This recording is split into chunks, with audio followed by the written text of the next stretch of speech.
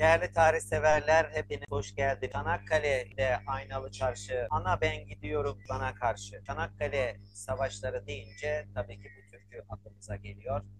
Bir de Çanakkale savaşları deyince ki Türk askerinin bir uçak önünde durduğu o fotoğraf aklımıza geliyor. Şimdi bu fotoğrafın gerçek hikayesini sizinle paylaşmak istiyorum. Acaba o fotoğraf 1915 Çanakkale savaşlarında mı çekildi yoksa başka bir yerde mi çekildi? Herkesin bildiği fotoğraf bu fotoğraf. Biri uzun, biri kısa, iki asker görünümlü kişi var ve arkasında da bir uçağın kanadı görülüyor. Peki bu fotoğraf Çanakkale Savaşları'ndaki Türk askerlerinin fotoğrafını hemen tahlile başlayalım. Numaralandırılmış yerleri de görüyorsunuz. Uzun boylu askerin üniforması Fransızlar gibi soldan düğmeli. Oysa ki Türk üniformaları sağdan düğmelidir. Aynı orduda iki asker de farklı şekilde çantalarını takmazlar. İkisi de aynı tarafta olması gerekiyor.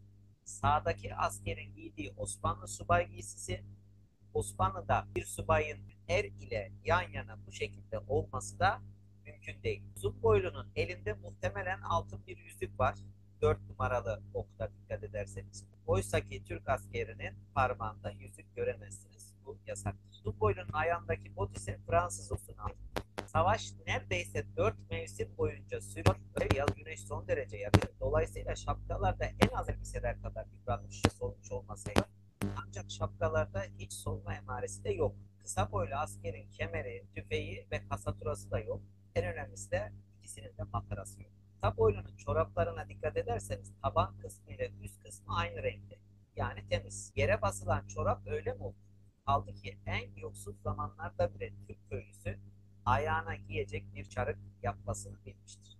Kaldı ki 1915'te Türk ordusu iyi teçhizatlıydı. Askerlerin üstü Arap değildi. Fotoğrafın Çanakkale'de çekildiğine dair herhangi bir belge ya da bilgi de söz konusu değil. 1915 Çanakkale savaşlarındaki gerçek Türk askerlerinin fotoğraflarına bakalım. Gördüğünüz gibi nizami bir subay kıyafeti, bu da er kıyafeti. Kıyafetlerinde yırtık söz konusu değil. Bay ve erleri, kemerleri, tasaturaları, silahlarıyla, sancaklarıyla çok nizami bir şekilde. İşte bu da hem subay hem de erlerin birlikte yer aldığı fotoğraf. Biraz önceki sahte fotoğrafla bunların hiçbir alakası yok.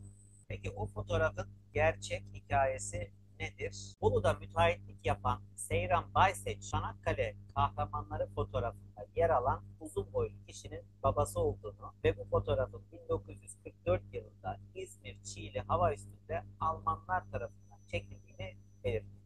Bolu Dağı eteğinde bulunan Elmalık köyünde yaşayan Seyran Bayseç, babasının 1982'de Niyazi Yıldırım ise 1994'te köyde hayatlarını kaybettiğini söyleyerek fotoğrafın öyküsünü de anlattı.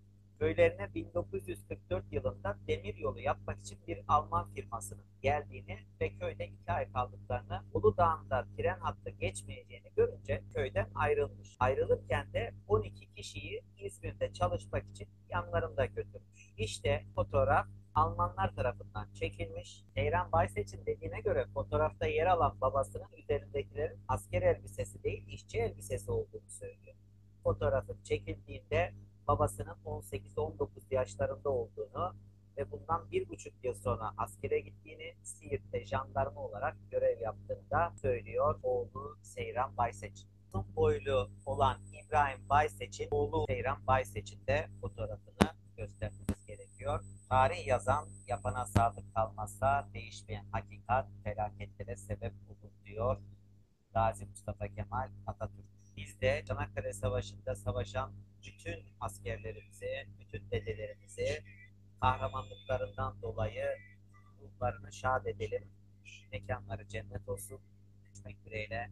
Esen kalın.